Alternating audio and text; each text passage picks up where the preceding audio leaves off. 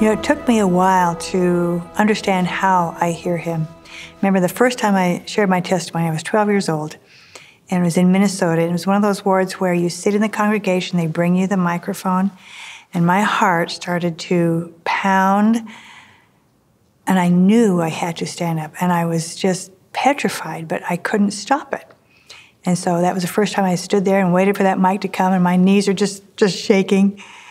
And uh, shared a, a, stumbled through a very simple testimony, but I felt so warm, so good, so affirmed that Heavenly Father loved me in doing that. And so that was maybe one of the first times I realized that for me, one of the ways that I feel the Spirit and I hear His voice is that warm assurance that I'm doing the right thing.